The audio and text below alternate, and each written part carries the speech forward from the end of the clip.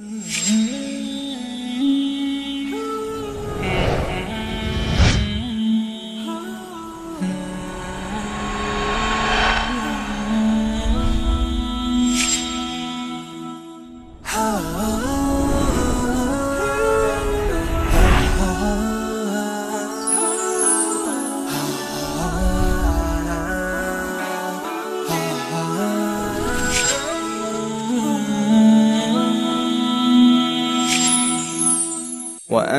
هذا صراطي مستقيما فاتبعوه فاتبعوه ولا تتبعوا السبل فتفرق بكم عن سبيله.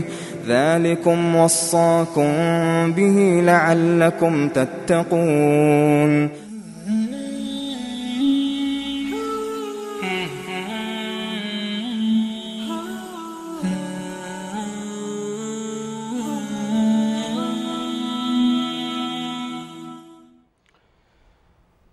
بسم الله و الصلاة و السلام علی رسول الله و آله و صحبه و من والاه اما بعد السلام علیکم و رحمت الله و برکاته بینندگان عزیز و گرامی در خدمت شما هستیم از یکی دیگر از قسمت های برنامه رهنمود سنت در این قسمت با هم دیگر برخی از شبهاتی که افراد و اشخاصی که خبر واحد را حجت نمی‌دانند یا در باب اعتقاد حجت نمی‌دانند ولی میگن ما در باب احکام قبول داریم شبهاتی مطرح می‌کنند که ما شبهاتشان را ان الله مطرح خواهیم کرد و در رد آنها خواهیم پرداخت ان الله اولین شبهه‌ای که اینها مطرح می‌کنند استناد میجویند به حدیثی که در صحیح بخاری است از حضرت ابی هریره رضی الله عنه.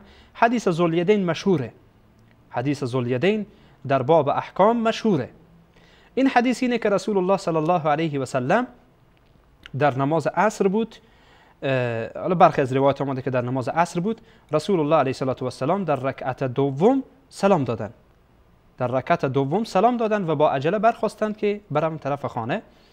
بعد زلیدین برخواست گفت که یا رسول الله آیا نماز کوتاه شده یا شما فراموش کردین؟ بیادبی نکرد. گفت یا رسول الله نماز کوتاه شده یا شما فراموش کردین؟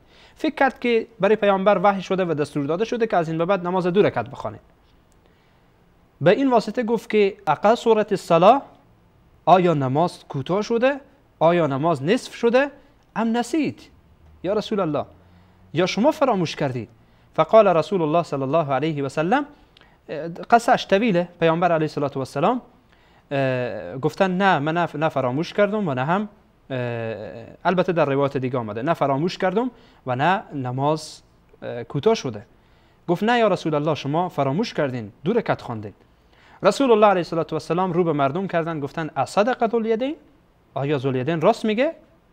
صحابه گفتن نه یا رسول الله بله درسته. شما دو رکعت نماز خواندین. پیامبر علیه الصلاه و السلام برخواستند و بعد دو رکعت دیگه خواندند و بعد سلام دادن و بعد تکبیر گفتند و سجده کردند سجده برای سهو کردن. به هر صورت این بحث ما نیست بحث فقهی است. آنچه که اینها استناد می‌کنن میگن پیامبر علیه الصلاه و السلام به خبر واحد احتجاج نکردند قول ذولیدین را قبول نکردن رد کردن. تا ای که جمعی از صحابه آمدن او را تایید کردند گفتند بله درسته. ذولیدین راست میگه. به این دلیل استناد می جویند که خبر واحد قابل احتجاج نیست. خبر واحد را نباید به او حجت جست و به او دلیل جست.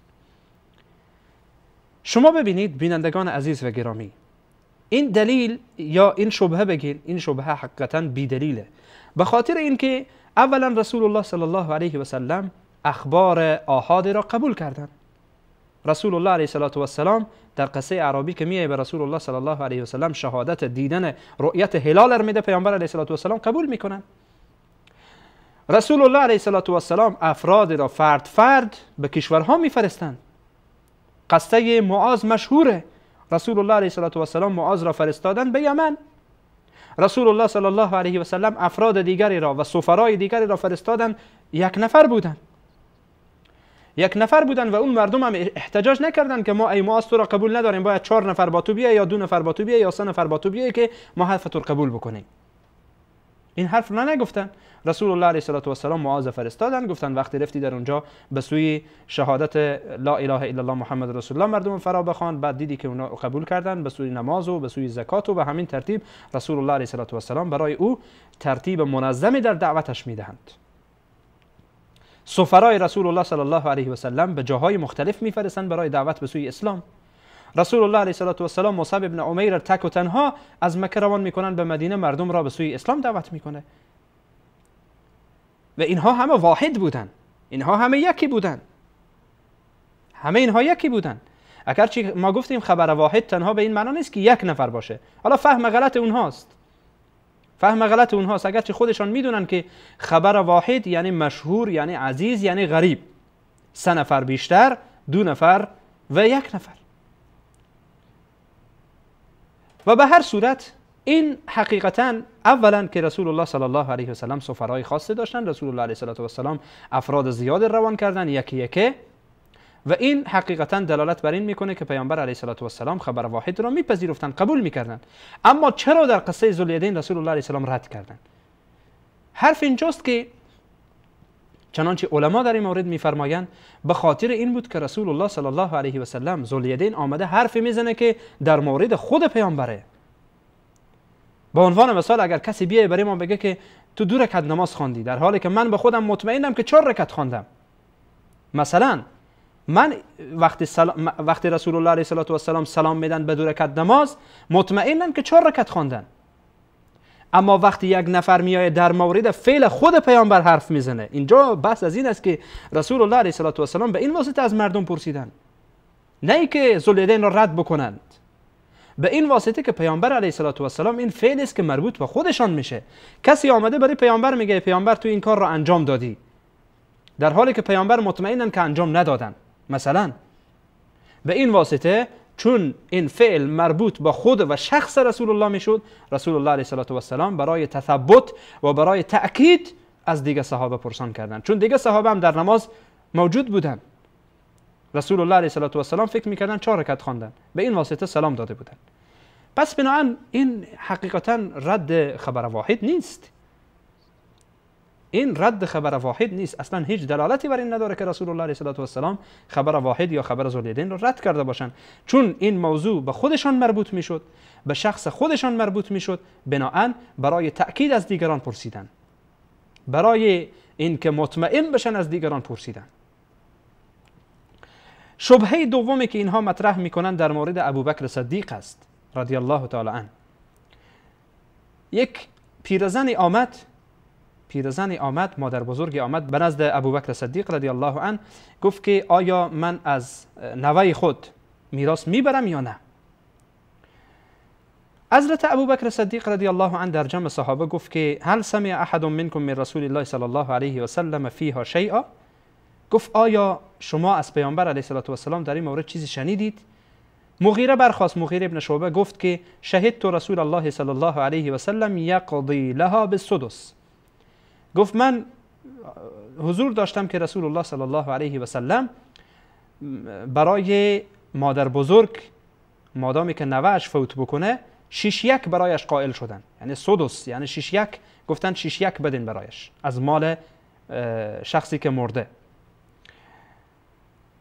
حضرت ابو بکر برای مغیره ابن شعبه گفت که هل سمع ذلك معك احد؟ آیا کسی امرای توی این حرف را شنیده؟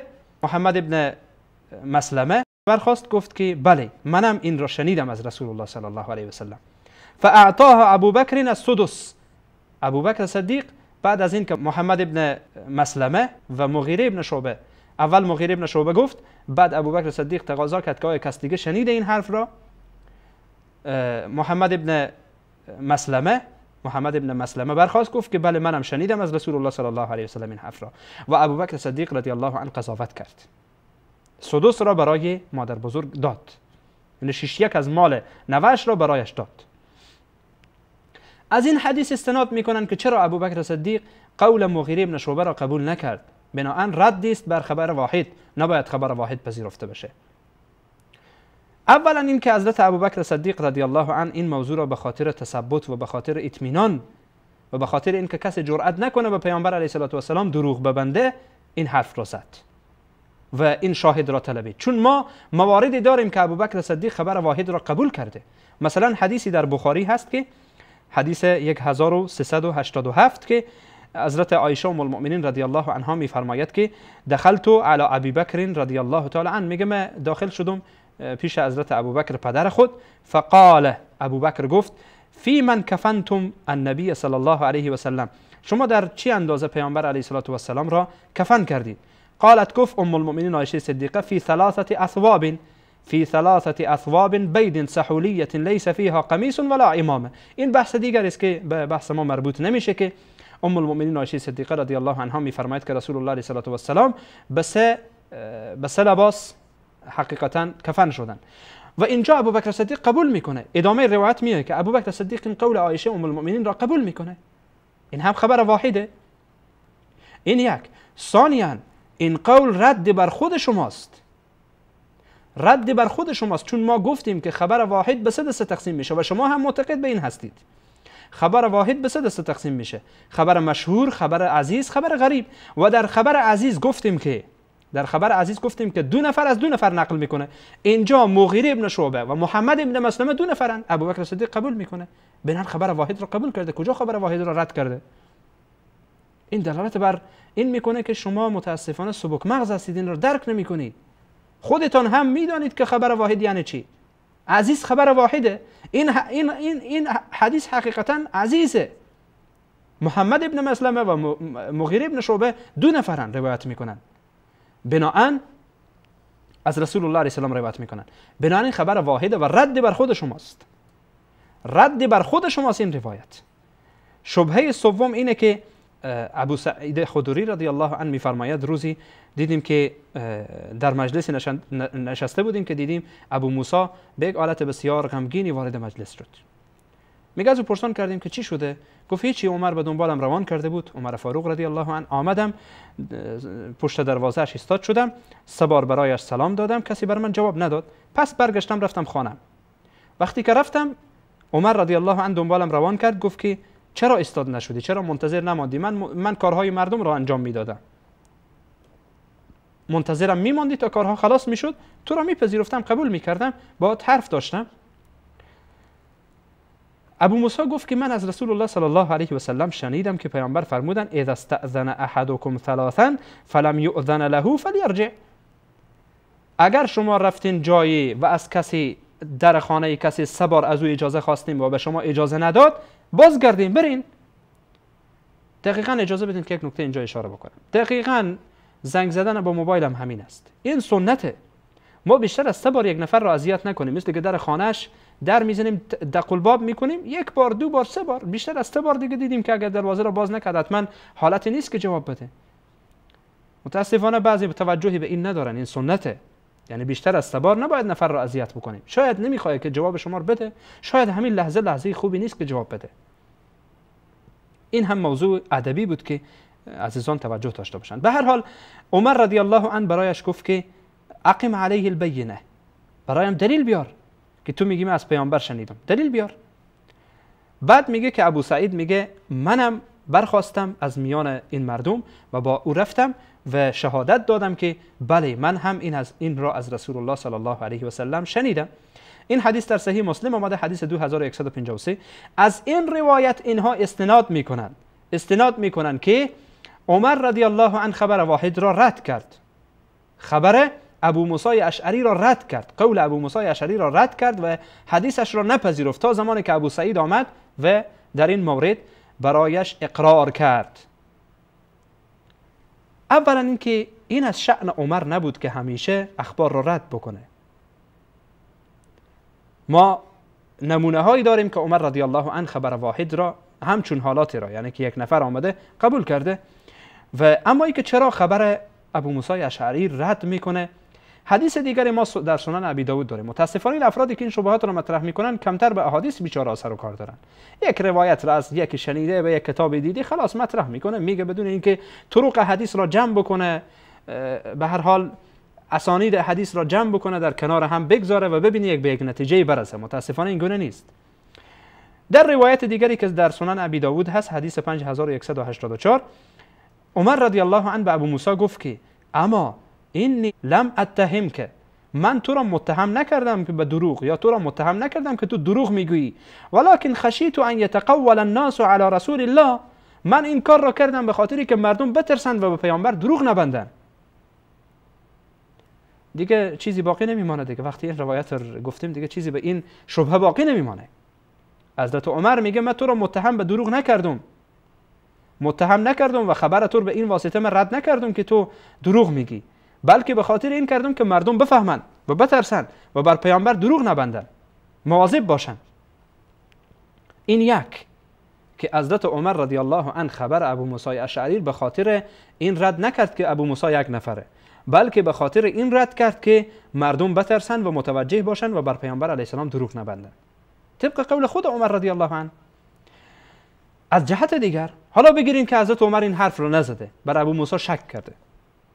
دقیقا همان قولی که در مورد حضرت ابوبکر صدیق گفتیم همان قول رو اینجا تکرار می‌کنیم. ابو موسی اشعری و ابو سعید خدوری اینها دو نفرند و حدیث عزیزه باز هم خبر واحده. این رد بر کسانی است که خبر واحد را رد می‌کنن با این حدیث. این حدیث دقیقا رد بر خودشان هست. دقیقا این حدیث برمیگرده بر فرق سر خودشان می‌خوره. و خودشان را رد می‌کنه. یعنی انسان تعجب می‌کنه اینها چقدر کم فکرن. روایتی که رد بر خودش هست اون را بر رد مخالفینش استفاده می‌کنه. سبحان الله به هر صورت بینندگان عزیز و گرامی اجازه بدین که یک میان برنامه ببینیم. بعد از این میان برنامه اینها شبهاتی بود که به هر حال اینها مطرح می‌کردن. یک رد کلی بر کسانی داشته باشیم که خبر واحد را یا در باب اعتقاد رد می‌کنن یا کلا به صورت کلی خبر واحد را رد می‌کنن. خذ من أموالهم صدقة تطهرهم وتزكيهم بها وصل عليهم إن صلاتك سكن لهم. خذ من أموالهم صدقة تطهرهم وتزكيهم بها. خذ من أموالهم صدقة تطهرهم وتزكيهم بها. وصل عليهم إن صلاتك سكن لهم والله سميع عليم.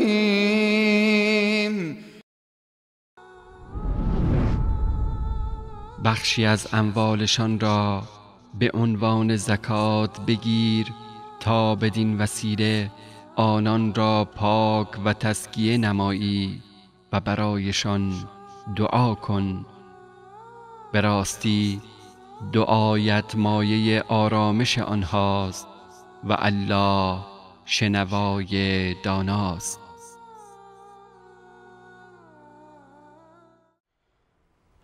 با سلام مجدد به خدمت شما بینندگان عزیز و گرامی. برخی از شبهات افرادی که خبر واحد را رد می‌کنند و با آن احتجاج نمی‌کنند در موردش حرف زدیم.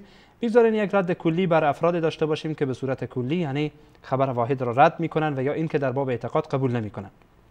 اولا آیه قرآن کریم سورة توبة الله متعال سبحانه و تعالی در سورة توبة آیت 122 میفرماید و ما کان المؤمنون لینفروا کافه فلولا نفر من كل فرقة منهم طائفة ليتفقهوا في الدين ولينذروا قومهم إذا رجعوا إليهم لعلهم يحذرون. الله متعال سبحانه و تعالی میگه برای مؤمنین مناسب نیه که همه بیرون بشن برن بلکه باید طایفه باشن و گروهی باشن که اینها بیاین علم رو بیاموزن تفقه در دین پیدا بکنن فهم در دین پیدا بکنن. ولی ينذروا قومهم اذا رجعوا الیهم. بعد به سوی قوم خود رفته مردم را بترسانند و برای مردم مسائل را بفهمانند که مردم بر حذر باشن از محرمات و از گناه ها و معاصی. حالا حرف اینجاست که این آیه قرآن کریم نمیگه که بیان 20 نفر با هم از یک طایفه قبول بکنن و باز بعد برن 20 نفر با هم تبلیغ بکنن. و ما گفتیم که حتی در سنت رسول الله صلی الله علیه و سلم موجوده که رسول الله علیه و سلام فردی می آمد سوال می‌کرد پیامبر علیه السلام می‌گفتن برو برای قوم خود هم بگو این حرف را. و این در خبر واحده رسول الله علیه و سلام احتجاج کردن و آیه قرآن هم دلالت بر این می‌کنه آیه 122 سوره مبارکه توبه. در آیت ششم سوره مبارکه حجرات الله سبحانه و تعالی چی میگه؟ میگه یا ایها الذين آمنوا ان جاءكم فاسق بنبأ فتبینوا. اگر فاسقی به نزد شما آمد و حرفی برای شما گفت فتبینوا در موردش تحقیق کنید. یعنی مخالف این حرف چی میشه؟ اگر این که یک انسان عدل آمد حرفش را بپذیرید قبول بکنید. ان جاءكم فاسق بنبأ فتبینوا. اگر فاسقی به خبری آمد و خبری برای شما داد فتبینو در موردش تحقیق کنید. اما اگر انسان عادلی آمد فاسق نه خلاف فاسق عادلی آمد آیا برین شما تحقیق بکنین؟ فتبینو نمیگه در اینجا. خلاف این آیه قرآن کریم اینه که اگر انسان عادلی آمد حرفش را بپذیرید. و دقیقا در خبر واحد شبهی که این افراد مطرح می‌کنن که از روی نادانی آنهاست حقیقتا. از روی نادانی آنها به مسائل و اصول هست. فکر می‌کنن که هر خبری که آمد هر حدیثی که آمد مورد قبوله. میگه که در خبر واحد میگه در احادیث آحاد تناقض وجود داره. بابا جان وقتی تناقض وجود داره محدثین آمدن راهایر گفتن. اولا راه جمع راه نسخ در میان این هاست. راه ترجیح در میان این هاست. راه توقف در میان این هاست. بابا جان همین که نیست که هر خبری آمد تو خلاص بگی حدیث صحیحه. صحیح بودن حدیث و ضعیف بودن حدیث از خود ضوابطی داره اصولی داره قواعدی داره. بگین ها با هم تناقض داره. کجا تناقض داره؟ کدام خبر صحیح تناقض داره؟ بعضی از علما چالش میدن میگن که از علمای ائمه را میگم منظورم از علمای معاصر نیستن. ائمه چالش دادن و چالش میدن که شما یک دو روایت صحیح پیدا بکنید با هم تناقض داشته باشه. و احتمال و احتمال جمع در میان آنها نباشه. چی حرفیه که شما می‌زنید؟ به هر حال این جاءکم فاسقون بنبئین فتبینوا. ولی خلافش چی میشه؟ اگر اینکه انسان آمد انسان عادل آمد خبرش رو بپذیرید. حدیثی است در سنن ابی داود حدیث شماره 3660 از زید ابن ثابت میگه از رسول الله صلی الله علیه و سلم شنیدم که رسول الله علیه و سلم فرمودن نضر الله امرا سمع منا حدیثا. خداوند متعال سبحانه و تعالی خوشنود بسازد الله متعال روحش را سفید بدارد او را همیشه شاد داشته باشد. فردی که سمع منا حدیث و حدیثی را از ما میشنود فحفظه حتی یبلغه. او را حفظ می‌کند تا اینکه برای دیگران آن را میرساند. حالا رسول الله علیه و سلام گفتن امرأن یک نفر. یک نفر حدیثی از ما میشنوه و بعد اون را حفظ می‌کنه و تا اینکه به دیگران میرسانه. این دلالت صریحی بر این دارد که خبر واحد مورد قبول هست و مورد استناد رسول الله صلی الله علیه و سلم هست مورد تایید پیامبر علیه و سلام هست. این سنت قولی پیامبر و سنت فعلی پیامبر را سفرای پیامبر هستند. بناهن فردی میایه میگه که خبر واحد مورد استناد نیست. این حدیث پیامبر رو چی بکنید؟ رسول الله علیه و سلام میگن یک نفر میایه از ما حدیثی را میشنوه او را حفظ می‌کنه به دیگران می‌رسه. پیامبر به او دعای خیر می‌کنن. دعای خیر می‌کنن. اما افراد دیگری که باز میان در میان خبر واحد در میان احکام و اعتقاد فرق می‌گذارن همین سوال از اونها سوال بسیار مهمی که چی فرقی در میان احکام و در میان عقاید هست. چی میگن؟ میگن عقاید نباید مبتنی بر زن باشه بر گمان باشه. میگن خبر واحد خبر واحد افاده زن نمی‌کنه. اولا این مورد اتفاق علما نیست. مورد اتفاق علما نیست. اولین افرادی که این حرف را زدن جهمی ها و معتزلی ها بودن رافیزی ها بودن. ثانیا مادامی که خبر واحد خبر واحد رجالش صحیح باشه یعنی صحیح باشه صحیح باشه بالقطع و بالیقین افاده علم می‌کنه افاده یقین را می‌کنه. این قول جمهور علماست. قول جمهور محدثین است. اگرچه بعضی آمدن گفتن که محققین محدثین فلان گفتن و فلان کردن و فلان گفتن. ولی قول صحیح و قولی که به ادله صحیح نزدیکتر است اینه که مادامی که خبر واحد خبر واحد مادامی که صحیح باشه از نظر متنی و سندی صحیح باشه این افاده علم می‌کنه افاده گمان را نمی‌کنه. بنابراین این اصلی که شما گذاشتید اصلتون اصلا مشکل داره. میگه لا ان الظن استناد می‌کنن به بعضی از آیات قرآن کریم که الله متعال زن رد می‌کنه گمان رد می‌کنه. اولا اونجا حتی حتی کسایی که مثلا به, به زن به زن بودن میگن که خبر واحد افاده زن نمی‌کنه. حتی همین ها میگن که گمان غالبه گمان غالبه. به هر صورت حالا ما گفتیم این قول رده. اولا این اصل شما این اصل شما حقیقتا که شما گذاشتید مبتنی بر یک اصل خوب نیست. اصل شما مشکل داره اصول شما مشکل داره. ثانیا عجیب اینه که اینها متناقضند. روایاتی هست که در اونها اعتقاد ثابت می‌کنه و در ضمن حکمی هم در او هست. مثلا رسول الله علیه و سلام در حالت نماز در حالت نماز حدیثی که ام المؤمنین عایشه صدیقه رضی الله عنها روایت می‌کنه میگه رسول الله علیه و سلام دعا می‌کردن اللهم انی اعوذ بک اللهم اینی اعوذ بک من فتنه المسیح الدجال مثلا. خب مسیح دجال به خبر واحد ثابت شده. این حدیث رسول الله علیه و سلام این دعا پیامبر علیه و سلام در نماز میخواندن و شما این را رد نمی کنید میگید در باب احکامه. خب این که در باب احکامه حکم حکم اعتقادی ثابت می‌کنه این را چیکار می‌کنید؟ چرا متناقض هستید؟ چرا تناقض می‌کنید؟ یک از, از یک جهت یک حدیث را قبول می‌کنید ولی از جهت دیگر می‌بینید همین حدیث مبتنی بر یک اصل اعتقادیه. مبتنی بر یک اصل اعتقادیه.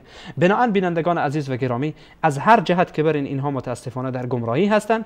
عقیده اهل سنت و جماعت این است که خبر واحد خبر واحد مادامی که صحیح باشه مادامی که صحیح باشه سندی و متنی صحیح باشه مورد احتجاج و به او حجت جسته میشه.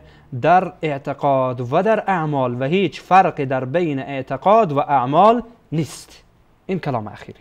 و دلایل را هم در این مورد به خدمت شما بینندگان عزیز و گرامی عرض کردم و برخی, برخی از شبهاتی که این افراد مطرح می‌کنند به آنها هم جوابهای ارائه شد. بینندگان عزیز و گرامی از خدمت شما رخصت میشین در این قسمت. تا قسمت دیگر که از موضوع جدید در خدمت شما خواهیم بود همه شما را به الله پاک بی همتا میسپارم. الله سبحانه و تعالی یار و مددکار همه من و شما باشد و السلام علیکم و رحمت الله و برکاته.